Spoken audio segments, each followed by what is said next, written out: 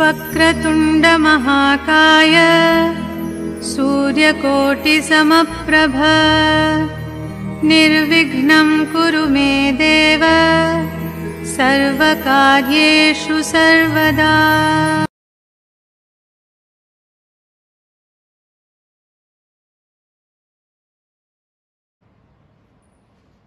สวัสดีค่ะ มหาเดวีพยากรณ์ได้กลับมาพบกับทุกคนอีกครั้ง กับคลิปวิดีโอหนึ่งใน 12 ราศีประจำเดือนพฤษภาคมปี 2565 คลิปวิดีโอนี้เป็นคลิปวิดีโอของชาวราศีพฤษภ เพราะศรัทธาจะนำมาซึ่งความสุขและความสำเร็จ ดวงตาเป็นหน้าต่างของหัวใจ รอยยิ้มคือประตูแห่งความสุข หากใครไม่เคยทุกข์คงไม่รู้รสชาติของความเจ็บปวด หากใครไม่เคยสุข คงไม่รู้รสชาติของความอิ่มใจทำไมมหาเดวีพูดคำนี้ บางครั้ง เรารับรู้ว่าใครคนหนึ่งที่เจ็บปวด แต่บางที เรายืนอยู่ในสถานะหนึ่ง เราคงไม่รู้ถึงความรู้สึกของเขาคนนั้น เพียงรู้ว่าเจ็บ เพียงรู้ว่าเศร้า ช่วยเป็นพลังใจให้กับทุกคนนะคะ การช่วยเหลือ เพื่อนมนุษย์ด้วยกัน การช่วยเหลือเพื่อนคนรอบข้าง ในสิ่งที่เราช่วยได้ มันคือบุญ มหาเดวียินดี หากใครที่ add ไลน์ add เฟซบุ๊กมาเข้ามาคุย ยินดีให้คำปรึกษาในสิ่งที่ช่วยได้ค่ะ เป็นพลังใจให้กับทุกคนให้ก้าวผ่านพ้นอุปสรรค ช่วยกดไลค์ กดแชร์ กดติดตามมหาเดวีด้วยนะคะ บางครั้ง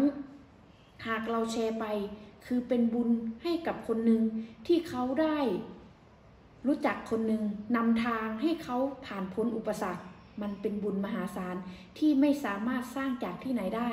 บารมีต้องสร้างด้วยตัวเองค่ะ เราจะมาเริ่มต้นการทำนาย ชาวราศีพฤษภประจำเดือนพฤษภาคมค่ะจะมีคนเข้ามาเกี่ยวข้องเกี่ยวพันนำความรักมาให้ คนโสดมีเกณฑ์พบเจอคนรู้ใจ จะได้เกี่ยวข้องเกี่ยวพันกับคนที่มีอายุมากกว่า หรือคนสูงวัยที่เป็นเพศหญิง จะนำโชคนำสิ่งที่ดีๆ มาให้กับคุณค่ะ คนผิวขาว ท้วมเป็นผู้ชายจะนำอุปสรรคนำปัญหาทำให้ทุกข์ใจกลุ้มใจเป็นกังวลใจ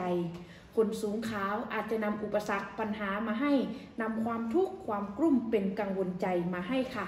การเงินมักจะได้จากน้ำพักน้ำแรงของตัวเอง ช่วงนี้เหงื่อไม่ไหลใครไม่ย้อย การเงินก็ไม่ค่อยเข้ามือค่ะ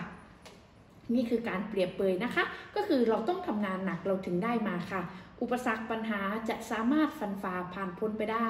แม้จะมีเรื่องทุกข์เรื่องกลุ้มเป็นกังวล คุณจะแก้ไขคลี่คลายจัดการไปได้ค่ะ